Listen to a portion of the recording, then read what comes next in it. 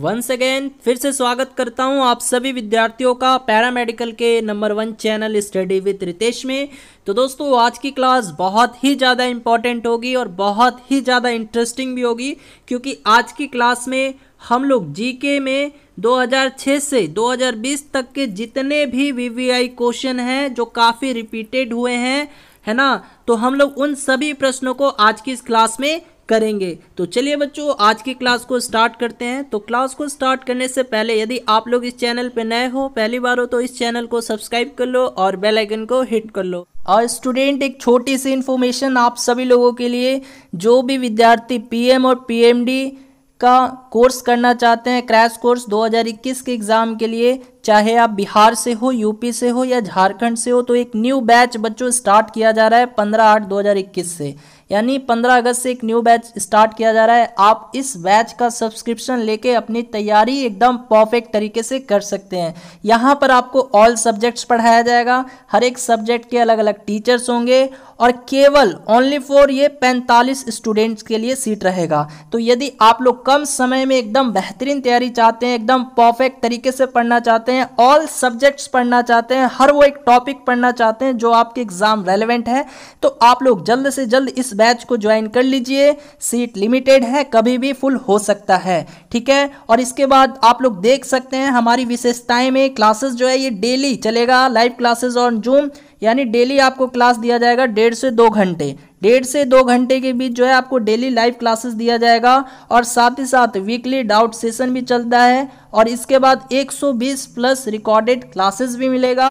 और स्टूडेंट आपको chapter wise notes भी अवेलेबल मिलेगा। यानी जो भी सब्जेक्ट का क्लास आप लोग कीजिएगा क्लास ओवर हो जाने के बाद हर वो एक टॉपिक का आपको नोट्स भी प्रोवाइड करवाया जाएगा। तो दोस्तों, अधिक जानकारी के लिए आप लोग जो है दिए गए नंबर पे हमें कांटेक्ट कर सकते हैं, ठीक है? तो यदि आप लोग को पेड कोर्स से रिलेटेड कोई भी जानकारी चाहिए या आपको इस कोर्स को ज्वाइन करना हो तो आप लोग जो है eight eight zero nine eight zero double two double eight पे कॉन्टैक्ट करके अधिक से अधिक जानकारी प्राप्त कर सकते हैं। तो चलिए स्टूडेंट पहला क्वेश्चन है गिर वन यहाँ पर है। आपको बताना है गिर वन राष्ट्रीय उद्यान ये कहाँ पर है? ये भारत के किस राज्य में स्थित है? हरियाणा, कर्नाटक, असम या गुजरात? जल्दी से आंसर कीजिएगा।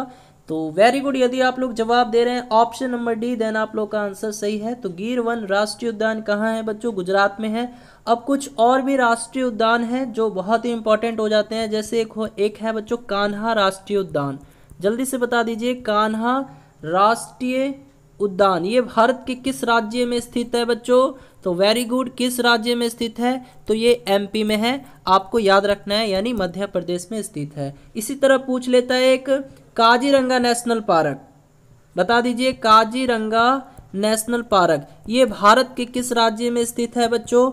तो आपको याद रखना है, काजीरंगा नेशनल पार्क ये भारत के असम राज्य में स्थित है, ठीक है? और बच्चों, याद रखना है, ये एक सिंह वाले गैंडे के लिए ये फ़ेमस है, ये राष्ट्रीय उद्यान। ये जो काजीरंगा नेशनल पार्क है, जो कि असम में है, और ये किस चीज़ के लिए विख्यात है, किस चीज़ के लिए ये वर्ल्ड फ़ेमस है तो एक सिंह वाले गैंडे के लिए ये राष्ट्रीय उद्यान फ़ेमस है। इसी तरह से एक और राष्ट्रीय उद्यान है बच्चों, आपको याद रखना है, Jim. Jim Corbett National Park. Jim Corbett National Park. जल्दी से बता दीजिए। Jim Corbett National Park. ये भारत के किस राज्य में स्थित है? बच्चों, याद रखना है, ये भारत के उत्तराखंड में स्थित है, ठीक है? उत्तराखंड। यहाँ पर मैं अच्छे से लिख देता हूँ, उत्तराखंड, ठीक है? तो जिम कार्बेट नेशनल पार्क जो है, ये भारत के उत्तराखंड में स्थित है। चलिए बढ़ते हैं अगले क्वेश्चन की तरफ़। अच्छा यहाँ पर एक चीज़ और मुझे बताइए, ये जो गिर वन राष्ट्रीय उद्यान देख रहे हो, जो कि गुजरात में है, ये किस जानवरों के लिए फ़ेमस है? तो आपको याद रखना है, ये बब्बर शेर के लिए फ़ेमस है, ठीक है? बब्बर शेर के लिए ये राष्ट्रीय उद्यान फ़ेमस है, ठीक है? चलिए बढ़ते हैं अगले क्वेश्चन की तरफ़। चलिए स्टूडेंट अगला प्रश्न है, भारत रत्न इस राष्ट्रपति को दिया गया? किस राष्ट्रपति को दिया गया? राष्ट्र राधा कृष्णम जी को, राजेंद्र प्रसाद जी को वीवी गिरी या गिरी अब्दुल कलाम जी को। जल्दी से बता दीजिए, भारत रत्न जो है, किस राष्ट्रपति जी को मिला था इनमें से? तो वेरी गुड याद रखना है, भारत रत्न जो है डॉक्टर राधा कृष्णम जी को मिला था, ठीक है? डॉक्टर सर्वपल्ली राधा कृष्णम जी को मिला था। कब मिला था बच्चों? ये भी आप लोग याद रख लीजिएगा, उन्नीस सौ ईस्वी में मिला था, ठीक है? हाँ तो सबसे पहले भारत रत्न से किसको सम्मानित किया गया था? डॉक्टर सोपली राधा कृष्णम जी को और साथ में दो व्यक्ति और थे जिसमें से एक थे आपके doctor C V Raman ji थे ठीक है sir C V Raman ji थे और इसके बाद दू, दूसरे जो व्यक्ति थे वो थे सी राजा गोपालाचारी सी राजा गोपालाचारी जी। ठीक है तो बच्चों आपको याद रखना है सबसे पहले भारत रत्न जो है उन्नीस सौ चौवन में दिया गया कितने व्यक्ति को दिया गया? तीन व्यक्ति को दिया गया डॉक्टर सोपाली राधा कृष्णम जी को, sir C V Raman ji को और सी राजा गोपालाचारी जी को दिया गया। तो ये आपको याद रखना है, ठीक है? हाँ जी, चलिए बढ़ते हैं अगले क्वेश्चन की तरफ़। तो स्टूडेंट, अगला क्वेश्चन है, इस जाने माने व्यक्ति ने आत्महत्या की थी। तो जल्दी से बता दीजिए, किस व्यक्ति ने सुसाइड की थी? कमिटेड सुसाइड किस व्यक्ति के द्वारा किया गया था? जॉन ऑफ़ ऑर्क के द्वारा या फिर जेड ए भुट्टो के द्वारा, या हिटलर, या सद्दाम हुसैन। किस व्यक्ति ने आत्महत्या की थी? तो वेरी गुड बच्चों, यदि आप लोग आंसर दे रहे हैं ऑप्शन नंबर सी हाँ जी ऑप्शन नंबर सी जो है, आपका राइट आंसर हो जाएगा, यानी हिटलर ने, ठीक है? हाँ देखिए, बात आई है हिटलर की तो एक क्वेश्चन पूछ लेता है, मीन काफ। मीन काफ पुस्तक की रचना किसके द्वारा की गई है? यानी मीन काफ पुस्तक के रचयिता कौन है? हाँ जी मीन काफ पुस्तक के रचयिता कौन है बच्चों? जल्दी से बता दीजिए। तो ये हिटलर ही है, आपको याद रखना है, हिटलर। ठीक है, मीन काफ पुस्तक जो है किसके द्वारा रचित की गई है? तो ये हिटलर के द्वारा रचित की गई है, और किस व्यक्ति ने आत्महत्या की थी? हिटलर ने ही की थी, आपको याद रखना है। चलिए बढ़ते हैं अगले क्वेश्चन की तरफ़। तो चलिए स्टूडेंट, अगला क्वेश्चन है, तात्य टोपे ने विद्रोह का नेतृत्व यहाँ से किया, कहाँ से किया? भोपाल, लखनऊ, झांसी या कानपुर? जल्दी से बता दीजिए, जो अट्ठारह का विद्रोह हुआ था, जो अट्ठारह की क्रांति हुई थी, उसमें तात्य टोपे ने इस विद्रोह का नेतृत्व कहाँ से किया था? भोपाल, लखनऊ या झांसी या कानपुर? जल्दी से जवाब दीजिएगा बच्चों। तो वेरी गुड यदि आप लोग जवाब दे रहे हैं option number D Kanpur then आप लोग का आंसर सही है। तो याद रखना है, तात्य टोपे ने अठारह की क्रांति का नेतृत्व कहाँ से किया था? कानपुर से किया था, ठीक है? चलिए। अच्छा अब मुझे ये बताइए, झांसी से किसने नेतृत्व किया था? यानी अठारह की क्रांति का नेतृत्व जो है, झांसी से किसने किया था? जल्दी से बता दीजिए। तो जल्दी से बताइए, झांसी से किसने नेतृत्व किया था? वेरी गुड बच्चों, याद रखना है, रानी लक्ष्मीबाई जी ने। रानी रानी लक्ष्मीबाई जी ने अठारह की क्रांति का नेतृत्व किया था, कहाँ से? झांसी से। लखनऊ से लखनऊ से इस विद्रोह का नेतृत्व किसने किया था बच्चों? अठारह सौ सत्तावन की क्रांति का नेतृत्व जो है लखनऊ से किसने किया था? तो याद रखना है किसने किया था? बैगम हज़रत महल। जी हाँ दोस्तों, बैगम हज़रत महल जी ने किया था, ठीक है? बात करेंगे भोपाल से। तो भोपाल से किसने नेतृत्व किया था? तो ये भी आपको याद रखना है, फाजिल फाजिल मोहम्मद खान जी ने, ठीक है? और बच्चों, अब बात करेंगे बिहार के। बिहार के बारे में, यानी बिहार से अठारह की क्रांति का नेतृत्व किसने किया था? बता दीजिए, ये तो आपको याद होगा। तो वेरी गुड बच्चों, बिहार से हाँ जी, बताइए जल्दी से, बिहार से, जल्दी से बता दीजिए बच्चों, बिहार से अंठावन से संतावन की क्रांति का नेतृत्व किसने किया था? बिहार से अठारह सौ सत्तावन की क्रांति का नेतृत्व किसने किया था? तो वेरी गुड वीर कुंवर सिंह जी ने। ये याद रखना है आपको सब, जितना भी मैं बता रहा हूँ, ठीक है? तो वीर कुंवर सिंह जी ने किया था, ठीक है? चलिए, बढ़ते हैं अगले प्रश्न की तरफ़। तो अगला क्वेश्चन है स्टूडेंट महाराष्ट्र के आतंकरोधी दल के प्रमुख, जो 26 ग्यारह के हमले में मारे गए थे। देखिए बच्चों, ये 2011 का पेपर है तो उस समय का ये करंट अफेयर्स था, ठीक है? तो महाराष्ट्र के आतंकरोधी दल के प्रमुख कौन थे जो 26 ग्यारह के हमले में मारे गए थे? ऑप्शन है ए आर अतुल्य, दिग्विजय सिंह, हेमंत करकरे या पीजी थॉमस। तो बच्चों, याद रखना है, ये थे हेमंत करकरे, ठीक है? हेमंत करकरे थे जो महाराष्ट्र के आतंकरोधी दल के प्रमुख थे और ये मारे गए थे 26 ग्यारह के हमले में, ठीक है? हाँ तो ऑप्शन नंबर सी जो है आपके इस क्वेश्चन का राइट आंसर हो जाए। चलिए स्टूडेंट अगला प्रश्न है जोशना चिनप्पा है, इस खेल के प्रख्यात खिलाड़ी हैं। यानी आपको बताना है जोशना चिनप्पा का संबंध किस खेल से है? बॉक्सिंग फुटबॉल हॉकी या स्क्वैश जल्दी से बता दीजिए जोशना चिनप्पा का संबंध किस खेल से है बच्चों? बॉक्सिंग फुटबॉल हॉकी या स्क्वैश हाँ जी वेरी गुड यदि आप लोग आंसर दे रहे हैं ऑप्शन डी स्क्वैश देन आप लोग का आंसर सही है, ठीक है? तो बच्चों, याद रखना है जोशना चिनप्पा का संबंध स्क्वैश एक गेम है, इसी से इनका संबंध है। अब देखिए, बात कर लेते हैं कुछ प्रसिद्ध खिलाड़ियों के बारे में, जिनका संबंध विभिन्न खेलों से है, ठीक है? तो यहाँ पे देखिए, बात करेंगे बॉक्सिंग से। तो बॉक्सिंग से जो संबंधित खिलाड़ी हैं, जैसे मैरी कॉम है, पूछा जा सकता है कि मैरी कॉम का संबंध किस खेल से है तो आपको याद रखना है मैरी कॉम है ना? तो मैरी कॉम का संबंध किस खेल से? बॉक्सिंग से है। और इसके बाद एक और व्यक्ति आ जाते हैं। एक और खिलाड़ी आ जाते हैं, शिवा आपा। शिवा आपा, इनका भी संबंध किस खेल से है बच्चों? बॉक्सिंग से है। आपको याद रखना है। बात करेंगे फुटबॉल के बारे में तो एक बहुत ही फ़ेमस नाम है बच्चों, वाई चुंग भाटिया। वाई चुंग भाटिया, ठीक है? क्या नाम है? वाई चुंग भाटिया। पूछा जा सकता है कि वाई चुंग भाटिया का संबंध किस खेल से है? वाई चुंग भाटिया का संबंध किस खेल से है? फुटबॉल से है। कभी कभी पूछ लेता है, क्रिस्टियानो रोनाल्डो क्रिस्टियानो रोनाल्डो का संबंध किस खेल से है? तो फुटबॉल से है। याद रखना है। इसी तरह बात करेंगे हॉकी के बारे में, ठीक है? तो पूछ पूछ लिया जाता है कि भाई यहाँ पे देखिए तीन लोगों का नाम मैं बता दूँगा जो बहुत ही फ़ेमस है। ध्यान चंद्र जी हैं, ठीक है? ध्यान चंद्र जी हैं। इसके बाद ध्यान राज पिल्ले जी हैं, ठीक है? हाँ और इसके बाद प्रगट सिंह है। ये तीन लोग बहुत ही फ़ेमस है बच्चों। तो याद रख लीजिएगा, ध्यान चंद्र जी का संबंध किस खेल से है? जवाब देना है हॉकी या फिर पूछे ध्यान राज पिल्ले, इनका भी संबंध किस खेल से है? तो हॉकी से ही है या फिर प्रगट सिंह का संबंध पूछे किस खेल से है? तो हॉकी से ही है। आपको याद रखना है। ठीक है बच्चों? तो चलिए बढ़ते हैं अगले क्वेश्चन की तरफ़। तो अगला क्वेश्चन है बैरोमीटर का उपयोग इसे मापने में होता है, धारा, गति, वायुदाब या चुंबकीय शक्ति। आपको बताना है barometer is use to measure current speed air pressure या मैग्नेटिक पावर जल्दी से बता दीजिए, प्यारे बच्चों। बैरोमीटर का उपयोग जो है किसे मापने के लिए किया जाता है?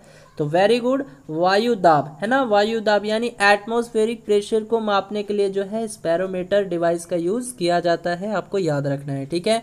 और देखिए बच्चों, बात आई है चुंबकीय शक्ति की यानी मैग्नेटिक पावर की। तो यहाँ से भी एक क्वेश्चन पूछा गया था। क्या पूछा गया था? मैग्नेटिक फ्लक्स के बारे में, है ना? मैग्नेटिक फ्लक्स का ऐसा यूनिट क्या होता है? ये पूछा गया था। तो जल्दी से बता दीजिए। चुंबकीय फ्लक्स का ऐसा यूनिट क्या होता है? चुंबकीय फ्लक्स का एसआई यूनिट क्या होता है बच्चों? तो आपको याद रखना है, जल्दी से बता दीजिए क्या होता है? वेबर होता है, शाबाश वेबर हाँ जी वेबर होता है और एक और होता है जिसको बोलते हैं चुंबकीय क्षेत्र तीव्रता। उसका भी बता दीजिए। एक और होता है बच्चों, चुंबकीय क्षेत्र तीव्रता। इसका ऐसा यूनिट क्या होता है? चुंबकीय क्षेत्र तीव्रता। इसका ऐसा यूनिट क्या होता है बच्चों? यानी मैग्नेटिक फ़ील्ड इंटेंसिटी लिख सकते हैं आप लोग मैग्नेटिक फ़ील्ड इंटेंसिटी इसका ऐसा यूनिट क्या होता है बच्चों? जल्दी से बता दीजिए, ये पूछा जा चुका है। तो वेरी गुड क्या होता है? तो इसका होता है टेस्ला ठीक है? टेस्ला होता है। ठीक है? तो चलिए बढ़ते हैं अगले क्वेश्चन की तरफ़। यदि क्लास अच्छी लग रही हो तो एक लाइक ज़रूर दे दीजिएगा। और भाई चैनल पे नए हो तो इस चैनल को भी ज़रूर से सब्सक्राइब कर लीजिएगा। तो चलिए स्टूडेंट अगला क्वेश्चन है, फ्रांसीसी क्रांति किस सन में हुआ था? यानी जो फ्रांस रिवॉल्यूशन हुआ था, वो कब हुआ था बच्चों? बताइए, अठारह सौ उनासी में या सत्रह सौ नवासी में 1920 में या 1970 में? जल्दी से बता दीजिए। यानी अठारह में या सत्रह सौ नवासी में या 1920 में या 1970 ईस्वी में? तो वेरी गुड जो फ्रांस का रिवॉल्यूशन हुआ था, जो फ्रांसीसी क्रांति हुई थी, वो कब हुई थी? सत्रह नवासी में हुई थी। यानी ऑप्शन नंबर बी जो है, आपके इस क्वेश्चन का राइट आंसर हो जाएगा। तो बच्चों कभी कभी पूछ लेता है रूसी क्रांति के बारे में भी। तो जल्दी से बता दीजिए, रूसी क्रांति ये कब हुआ था?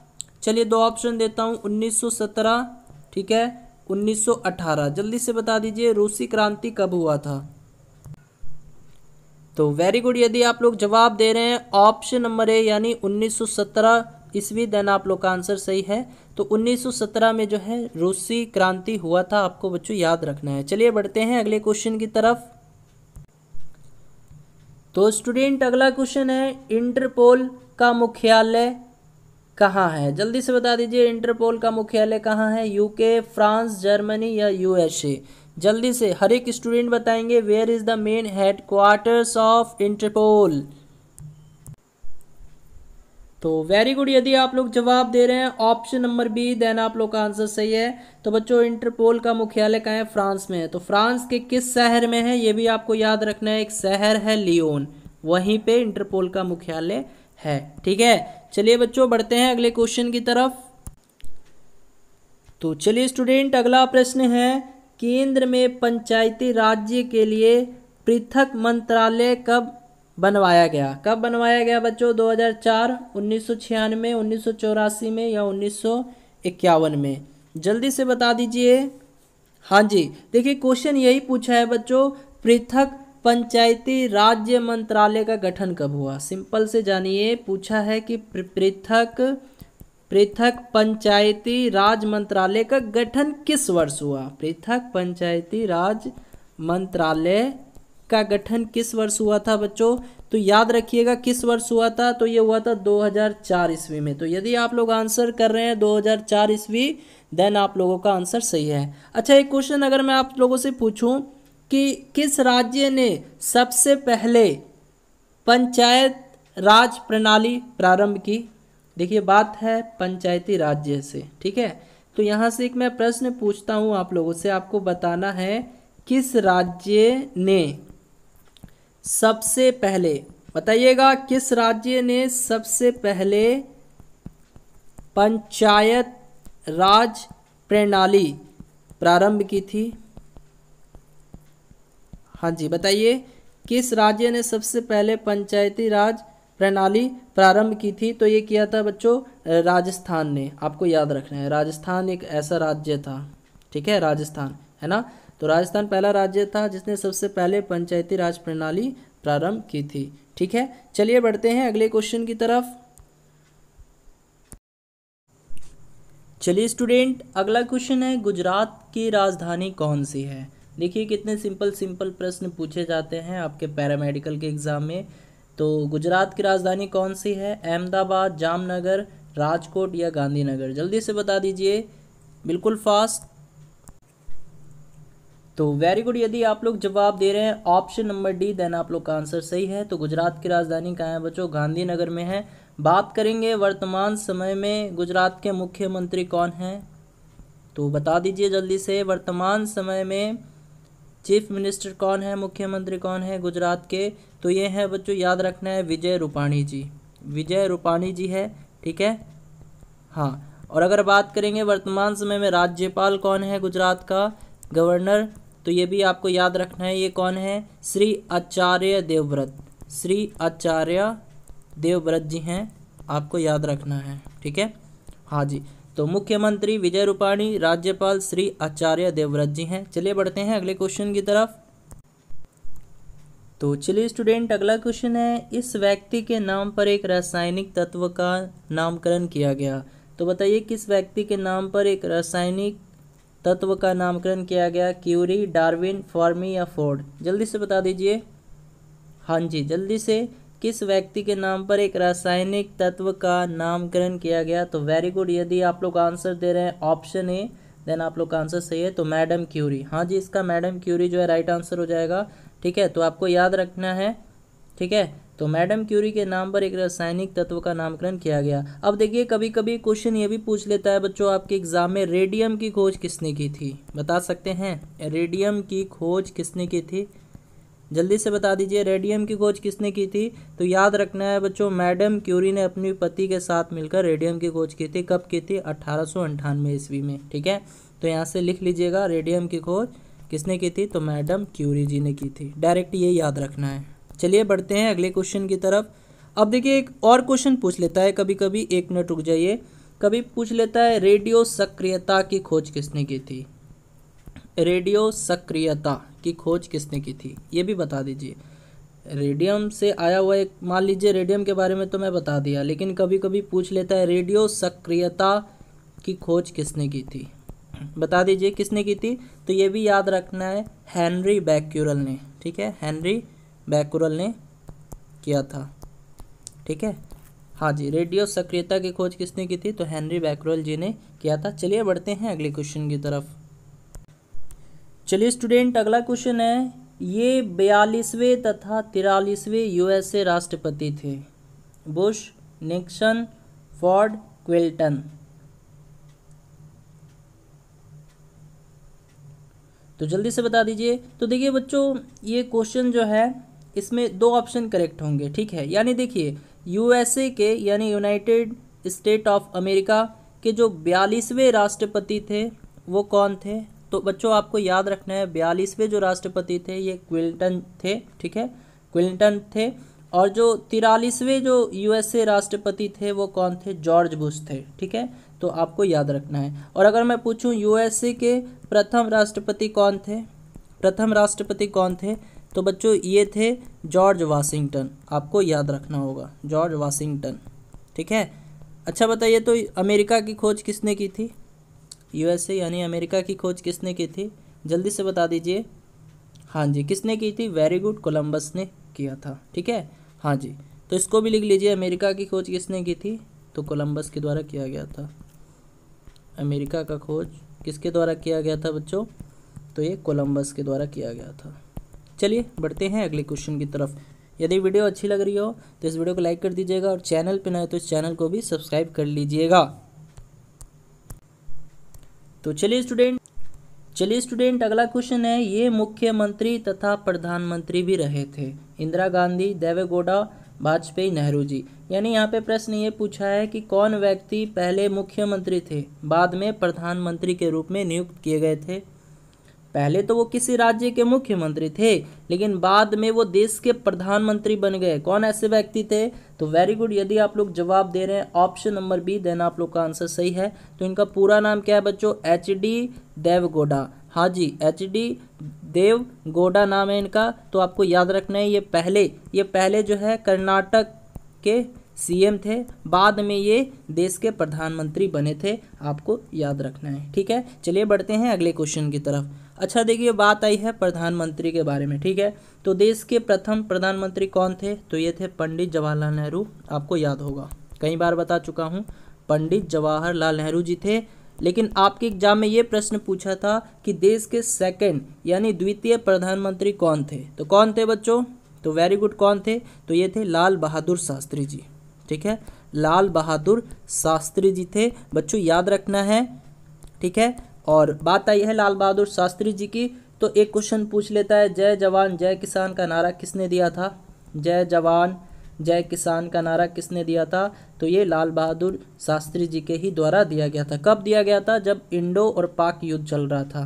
तो ये इंडो पाक युद्ध कब कब हुआ था, ये मैं आपको बता चुका हूँ। तो आप लोग वीडियो के कमेंट सेक्शन में ज़रूर बताइएगा कि इंडो पाक युद्ध कब हुआ था। ठीक है? चलिए बढ़ते हैं अगले क्वेश्चन की तरफ़। तो चलिए स्टूडेंट, अगला क्वेश्चन है, टाइगर वुड्स किस खेल से संबंधित है? टाइगर वुड्स जो कि खिलाड़ी हैं और पूछा गया है कि इनका संबंध किस खेल से है? बच्चों, चेस, क्रिकेट, फुटबॉल, गोल्फ। जल्दी से जवाब दीजिएगा। टाइगर वुड्स का संबंध किस खेल से है जी? तो वेरी गुड। यदि आप लोग जवाब दे रहे हैं ऑप्शन नंबर डी, देन आप लोग का आंसर सही है। तो आपको याद रखना है, टाइगर वुड्स एक अमेरिकन गोल्फर हैं। तो इनका संबंध किस खेल से है? गोल्फ से है, ठीक है? चलिए स्टूडेंट, बढ़ते हैं अगले क्वेश्चन की तरफ़। तो चलिए स्टूडेंट अगला क्वेश्चन है, खुले स्थान से भय कहलाता है। खुले स्थान से भय क्या कहलाता है? एक शब्द में इसको क्या कहेंगे? एगोराफोबिया, एंड्रोफोबिया, कैकोफोबिया या एग्रोफोबिया। देखिए बच्चों, यहाँ पे जो फोबिया देख रहे हो आप लोग, ये वर्ड इसका मतलब होता है टू फेयर यानी डरना, ठीक है? तो यहाँ खुले स्थान से डरना या खुले स्थान से भय क्या कहलाता है? जल्दी से जवाब दीजिएगा स्टूडेंट तो वेरी गुड यदि आप लोग जवाब दे रहे हैं ऑप्शन नंबर ए देन आप लोग का आंसर सही है। तो एगोरा फोबिया होता है, यानी खुले स्थान से भय क्या कहलाता है? एगोरा फोबिया कहलाता है, ठीक है? एगोरा फोबिया कहलाता है। अब देखिए, कुछ और भी क्वेश्चन हो जाते हैं जो आपके एग्ज़ाम में पूछे जा सकते हैं। मान लीजिए, ये क्वेश्चन पूछा गया है तो इससे रिलेटेड भी कई क्वेश्चंस पूछे जा सकते हैं। जैसे अगर मैं पूछूँ आपसे फेयर ऑफ़ हाइट्स यानी ऊंचाई से डर। जिस व्यक्ति को ऊंचाई से डर लगता है, उसको एक शब्द में क्या कहेंगे हम लोग? एक्रोफोबिया। उसको क्या कहेंगे? एक्रोफोबिया। याद रखिएगा, एक्रोफोबिया। इसी तरह से अगर मैं बोलूँ आपको, द फेयर ऑफ़ वाटर, यानी फियर ऑफ़ वाटर, यानी जिसको पानी से डर लगता हो, उसको एक शब्द में क्या कहेंगे हम लोग? फियर ऑफ़ सॉरी, वाटर लिखिए यहाँ पे, हाइट नहीं। Fear of water. ठीक है? फियर ऑफ़ वाटर यानी जिस व्यक्ति को पानी से पानी से डर लगता है, उसको एक शब्द में क्या कहेंगे? उसको एक शब्द में बोलेंगे एक्वाफोबिया एक्वाफोबिया तो ये सब बच्चों याद रख लीजिएगा, ठीक है? पूछे जा सकते हैं प्रश्न, ठीक है? हाँ जी, ठीक है? चलिए बढ़ते हैं अगले क्वेश्चन की तरफ़। अगला क्वेश्चन है, किसने न्यूट्रॉन की खोज की थी? Dalton, Moseley, Fermi, Chadwick. जल्दी से बता दीजिए, प्यारे बच्चों। तो जल्दी बताइए। वेरी गुड यदि आप लोग जवाब दे रहे हैं ऑप्शन नंबर डी देन आप लोग का आंसर सही है। तो बच्चों, न्यूट्रॉन की खोज किसने की थी? जेम्स चैडविक ने की थी। आपको याद रखना है, ठीक है? अब देखिए, यहाँ पे न्यूट्रॉन की खोज जेम्स चैडविक द्वारा की गई थी। कभी कभी इलेक्ट्रॉन के बारे में भी पूछा जा सकता है बच्चों तो इलेक्ट्रॉन की खोज किसने किया था? ये याद रखना है, जे जे थॉम्सन जी ने। जे जे थॉम्सन जी ने किया था। और बात करेंगे प्रोटॉन की खोज किसने की थी? तो प्रोटॉन की खोज में दो लोगों का नाम आ जाता है, एक रदरफोर्ड और एक गोल्ड ठीक है? तो जो भी आपको ऑप्शन में दिखे, आप लोग लगा दीजिएगा। दोनों ऑप्शन नहीं देगा, कोई एक ही ऑप्शन देगा। या तो रदरफोर्ड देगा या फिर गोल्ड देगा, ठीक है? गोल्ड इस तरह से लिख लीजिएगा। गोल्ड स्टीन ठीक है? तो चलिए, बढ़ते हैं अगले क्वेश्चन की तरफ़। चलिए, अगला क्वेश्चन है, किसने उपन्यास ग्रेट गेट्स भी लिखा था? तो बच्चों, एक बहुत ही फ़ेमस उपन्यास है, बहुत ही फ़ेमस नॉवल है, ग्रेट गेट्स भी। ये किसके द्वारा लिखा गया है बच्चों? तो ऑप्शन ए है, जैन ऑस्टन ऑप्शन बी है, नाइपॉल ऑप्शन सी है फिट्ज रोल्ड ऑप्शन डी है डिक्शन तो बच्चों, याद रखना है तो वेरी गुड यदि आप लोग जवाब दे रहे हैं ऑप्शन नंबर सी देन आप लोग का आंसर करेक्ट है। तो ग्रेट गेट्स भी, ये नोबल जो है, ये उपन्यास किसके द्वारा लिखा गया है? फिट्ज रोल्ड द्वारा, ठीक है? फिट्ज रोल्ड जी के द्वारा लिखा गया है। अब देखिए, एक और राइटर हैं, ये भी बहुत फ़ेमस राइटर हैं, इनका नाम है वी एस नाइपॉल ठीक है? तो इनके द्वारा भी एक बहुत ही फ़ेमस बुक लिखी गई है, जिसका नाम है इन अ फ्री स्टेट पूछ लेता है कभी कभी इन अ फ्री स्टेट पुस्तक के रचयिता कौन है? या, इन अ फ्री स्टेट इस नॉवल के लेखककार कौन है? तो याद रखना है, वी एस नाइपॉल जी हैं। ठीक है, चलिए बढ़ते हैं अगले क्वेश्चन की तरफ़।